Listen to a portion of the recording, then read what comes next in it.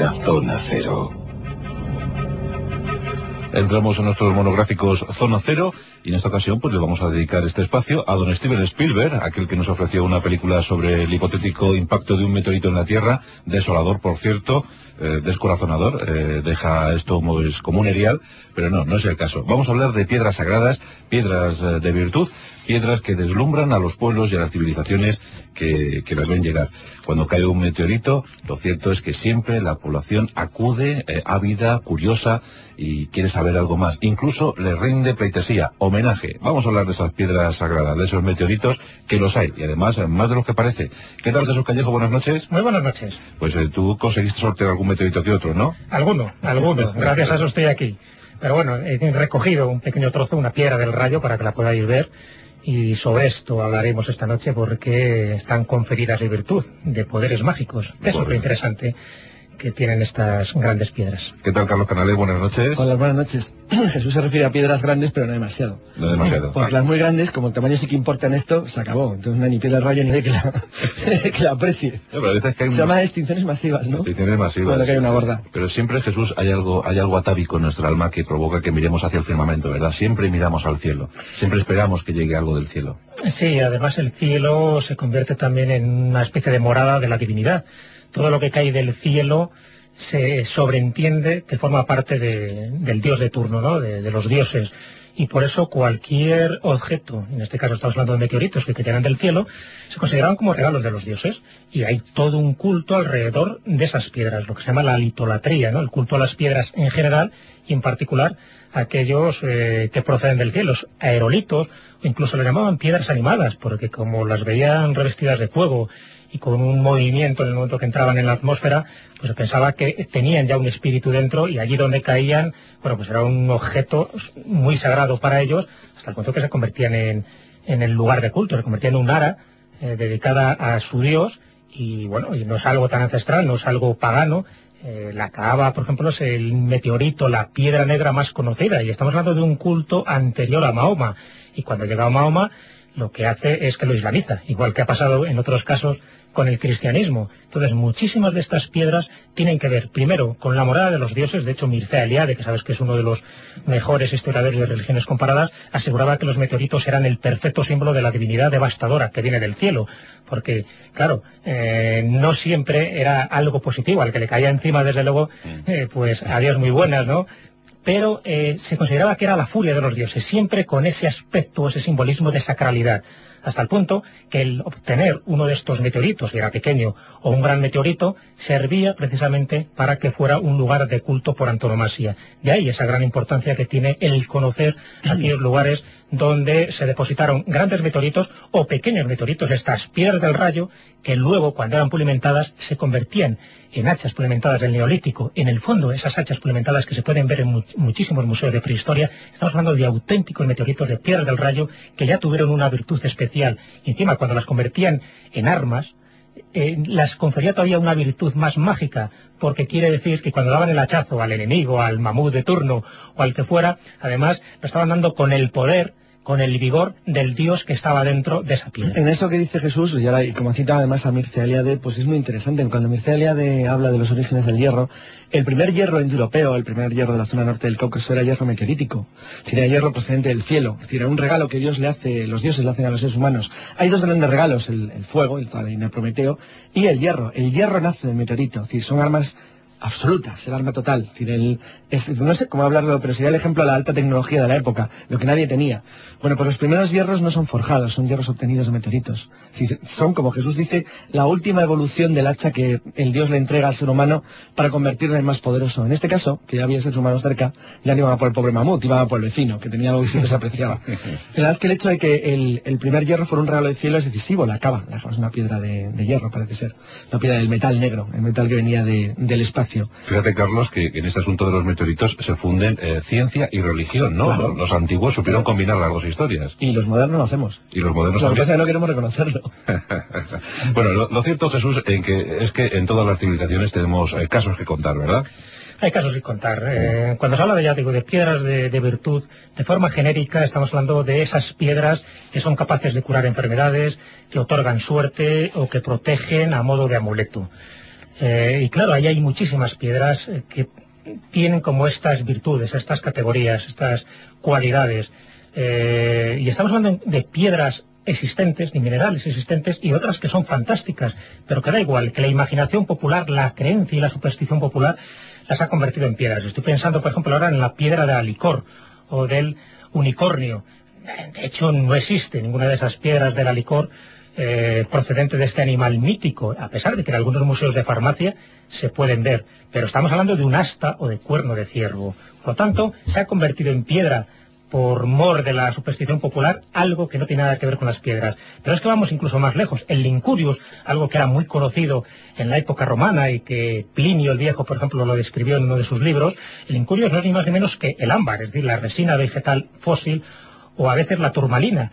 Pero la superstición, esa tradición popular que ha ido pasando de forma verbal de unas generaciones a otras, decía que era la orina del lince, que era tan valiosa que la escondía cuando escondía y se petrificaba esa orina, aquel que era capaz de conseguir este lincurius, esta orina petrificada del lince, te podía dar cualquier virtud que tú le otorgaras, desde la eterna juventud hasta abrir cualquier tipo de cerradura, hasta conseguir a la persona amada. Fíjate lo que se hace un poco alrededor de esta superstición. Pero claro, hay otras, bueno, incluso las brujas, decía que las brujas una de las formas que tenía de metamorfosearse no solo eran animales, sino también en brujas, y se hablaba de la piedra de la bruja. Eh, de tal manera que hay muchísimas leyendas, sobre todo en Asturias, donde se decía que cuando alguien tenía la convicción de que esa piedra que estaba en el establo era de una bruja, en el momento que la rompías una esquirla, al día siguiente aparecía la bruja ya convertida en ser humano, pero eh, totalmente tullida, ¿no? Le faltaba un brazo, una pierna, que era la esquirla que habían quitado a la piedra. Bueno, no hay que olvidar eso, porque tú lo decías bien, la religión y la mineralogía van un poco de la mano, pero también la superstición. Y cuando hablamos de eso, dentro de todas esas piedras de virtud, como las más impactantes, y nunca mejor dicho, serían esos meteoritos sagrados, esos meteoritos que han servido de piedras eh, veneradas por muchísimas religiones. La más conocida, lo hemos comentado, es la Kaaba, la piedra negra conservada en la Meca, que es la llama, prácticamente la mano derecha de Dios, la Yamín Alá.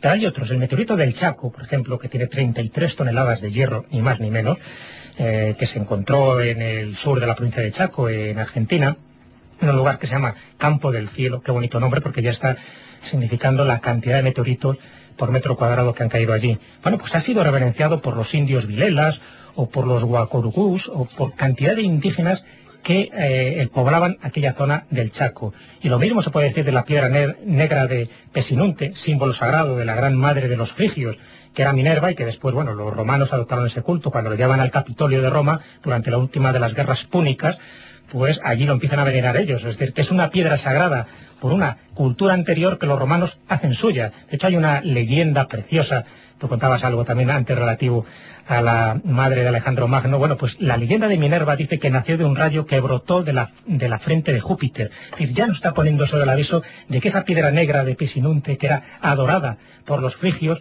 en el fondo estamos hablando de una, de una piedra sagrada, de un meteorito sagrado que cayó en la Tierra. ¿Sabes que el meteorito frigio era hierro? Era una de las primeras obtenciones. Fíjate, se, cree que en el caso de los frigios, bueno, los frigios procedían de lo que es el, sur de Rusia, llegaron a lo que es la Anatolia, Turquía, en, entre el año aproximadamente un poco posterior al año 1000 antes de Jesucristo. Y la, piedra, a diferencia de la cava, que siempre fue adorada en el lugar donde se encontró, donde está ahora mismo la Meca, parece que la piedra, la piedra de los frigios es una piedra eh, viajera, iba con ellos porque es eh, la piedra de lo que los frigios, un pueblo europeo al fin y al cabo, ligeramente emparenteado con los son los primeros que utilizan armas de hierro de manera general en Anatolia Central, ya de manera aplastante. Entonces, parece que habían conocido el, arte de la metalurgia en el Cáucaso, pero ellos lo habían obtenido una piedra que se había caído del cielo y consideraban que era un regalo de Dios. Y era esa piedra a la que ellos adoraban, una piedra negra también, como la cava. Es curioso porque entre las, entre las tribus de la antigüedad mm, el regalo de Dios se valoraba mucho objetivamente y mucho más y se le podía sacar un beneficio práctico. Y bueno, machacar la cabeza del vecino era un beneficio práctico como otro cualquiera. En España, sin embargo, es muy bonito porque las, las, las, piedras que caen del cielo, las más valoradas, que es, es general todo el centro europeo, lo que se llaman las leyendas, las piedras del rayo, las pedras de Llam, que dicen los catalanes, tienen una valoración positiva o negativa, como decía en las leyendas españolas, por ejemplo, Jan Amades dice que, como decía al principio, que hay piedras calientes y piedras frías. Las primeras, para que nos entendamos de manera rápida, un meteorito que puede incendiar un bosque, es una piedra peligrosa. Las piedras calientes atraen el diablo, están relacionadas con el infierno, con el mal. En tanto, las piedras frías, no, es todo lo contrario, son amuletos positivos que tú puedes utilizar para tu propia protección. Eso fue una evolución muy lenta de la utilidad que se les daba en la antigüedad al objeto que caía del cielo. De aquel que tú puedes sacar un objeto directo, una utilidad rápida, que no te daba miedo ni no te producía un peligro, era una piedra fina, una piedra útil. Las otras no, las otras había que tener cuidado, te podían quemar, te podían abrasar, podían ser un regalo peligroso de los cielos o un castigo por la mala conducta que habían tenido los hombres.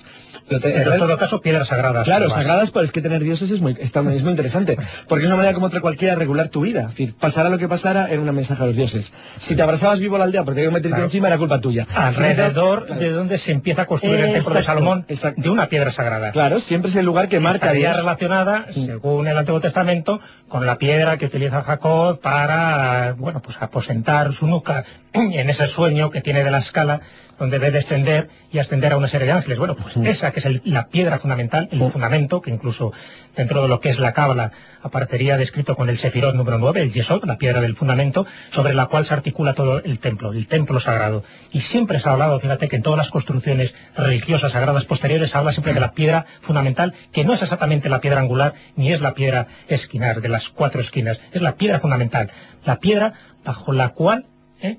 Se asienta la estructura geométrica, matemática y simbólica del edificio, la piedra en la cual se adora a la divinidad, el ara sagrada, por decirlo así. Por eso que el simbolismo importante claro, que no es, no es el único caso, porque en el, occidente medieval se utilizaron muchas piedras de este tipo para luego generar los altares de las iglesias, sobre todo en el románico.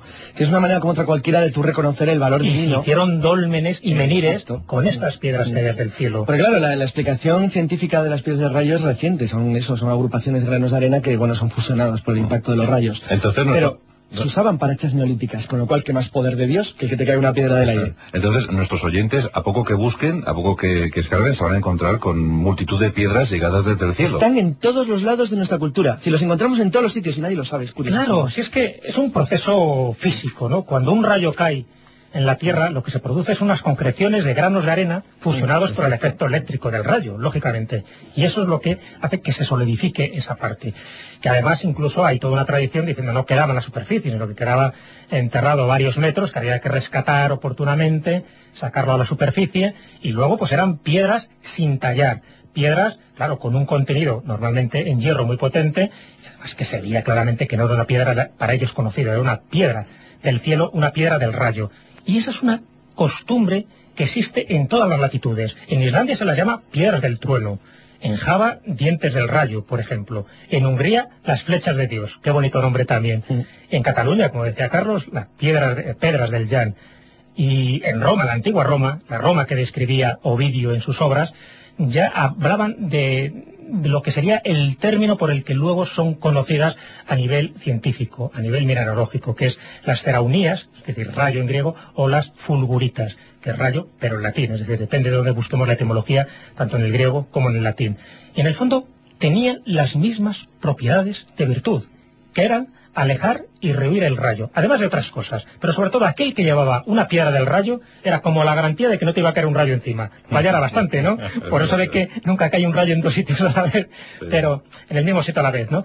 Entonces era una de las costumbres que había, igual que pasaba con el laurel. Fíjate qué curioso, ¿eh? me voy, si quieres, a otros derroteros, pero creo que es interesante. ¿Por qué crees que a los emperadores romanos se les coronaba con eh, coronas de laurel? Porque el laurel estaba, era un dios, eh, perdón, era un árbol dedicado al dios Apolo, y era un árbol dedicado al dios Apolo porque se consideraba que ese árbol era especialmente favorable al dios para que no cayeran los rayos. A diferencia de otros árboles donde los rayos les fulminan como los robles, como las encinas, como los fresnos, el laurel no. Entonces, el coronarte con hojas de laurel era un indicio claramente de que a la calva, por ejemplo, de, Julio César no le cayera un rayo que le fulminara, porque se pensaba que tenía unas propiedades que rehuían la ira de Dios, es decir, el rayo divino y fulgurante que, te Hay un libro de Mommsen sobre los orígenes de los pueblos indoeuropeos, hay un libro sobre el origen de los pueblos latinos que es fascinante, que es donde cuenta desde la historia de la palabra pontífice, que era el líder religioso que era el que decidía la construcción de los puentes, en la emigración legendaria de los, de los latinos desde el centro de Europa, mil años antes de que llegaran a, a Italia, hasta lo que acaba de decir Jesús, es que era la forma en la que el jefe era electo en el lugar más propicio para iniciar la migración, cuando los latinos son un pueblo errante que vivía en algún punto del bosque del norte de Europa. es una historia fantástica y todo va a nuestra, a, nuestro, a nuestra mitología, pero totalmente disfrazada de una diferente. Como Jesús Leonés, que él mismo cuenta una historia muy bonita, lo de las piedras de leche, que a mí me parece especialmente atractiva, porque es la manera de interpretar la piedra que te cae del cielo. Y es que con determinadas piedras se podía hacer una especie de, eh, bueno, de amuleto beneficioso para las madres que tenían niños lactantes. Entonces, según la posición en la que tú colocabas la piedra, si la colocabas de una manera, la madre podía darle más leche al niño, pero si querías dejar de dar leche, bastaba con que le dieras la vuelta para anular el efecto. Y se llaman piedras de leche hasta el siglo XIX. Bueno, yo en Asturias estuve hace poco y allí mm, encontré Mm. una de esas piedras mágicas preciosa además, eh, no he encontrado demasiado sitio, que es la quiastolita, que es lo que se llama la piedra santa. Se llama la piedra santa porque tiene como una especie de cruz de San Andrés inscrita, ¿no? Es una, es una formación geológica y de ahí que se llama la piedra santa. Es una variedad de la andalucita, estamos hablando de unos 600 millones de años de antigüedad que pueden tener estas piedras, que sirve para protegerse de las tormentas, contra el mal de ojo y, y para hacer que la leche suba de las mujeres que, que está, bueno, pues con el niño, ¿no? De, de biberón, ¿no? Por decirlo así. Y evitaban incluso las picaduras de la serpiente. Todo eso es lo que hacía la quiastolita, una de las piedras preciosas, de virtud, mágica y que se puede encontrar en muy pocos sitios y además con esa característica que es la cruz. Bueno, pues yo creo que nuestros oyentes de la zona cero han estado encantados escuchando la, la sabiduría de Jesús Callejo y Carlos Carales sobre estas piedras ilustres, piedras sagradas. Yo también he traído aquí unas piedras para ellos. Toma, eh, Carlos, para ti un cuarzo, que te va a venir muy bien. ¿eh? Eh, para ti, Jesús, te he traído una olivina de Lanzarote. Ay, ¿eh? bien, que también bien. viene de- del centro de la tierra. Toma, te lo cambio por un azabache. Un azabache. Yo te dejo un erizo fosilizado, día te contaré por qué.